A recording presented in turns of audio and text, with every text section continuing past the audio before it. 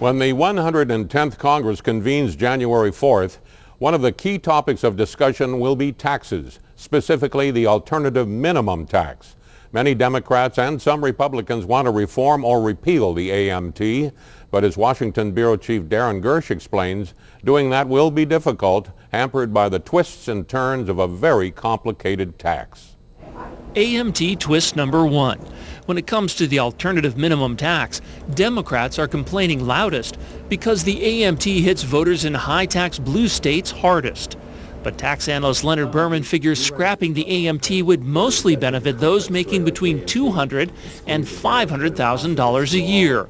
In other words, the top 5% or so of taxpayers. Well, I guess it shows that Democrats don't hate rich people. The AMT was also created to make sure people making a million dollars or more pay income taxes. But because of the way the AMT is structured, people making less than that might pay a higher tax rate. It's not a flat tax. It's a camel-shaped tax. I mean, it goes 26%, 32.5%, 35, and then back down to 28%. And those people in that pump part in the middle who are subject to that 35% rate, they're all on the AMT. A second AMT twist, says analyst Alan Viard, is that it takes away about a third of the regular income tax cuts the president has signed into law. Unless it eventually is corrected, it, it does take away part of his legacy, yes. Given all this, you would think AMT repeal would be a slam dunk for Democrats Without and objection. Republicans. The political twist is this. In theory, 30 million middle-class taxpayers could end up paying the AMT in a few years. But right now, only 4 million taxpayers pay it.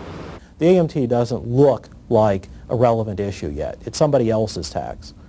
And so if I were to come to them as a member of Congress or as the president and say, I got rid of the AMT, you're not going to have to pay it, people would say, well, gosh, I never have paid it. And repealing it would require raising other taxes, which is what activist Robert McIntyre wants to do.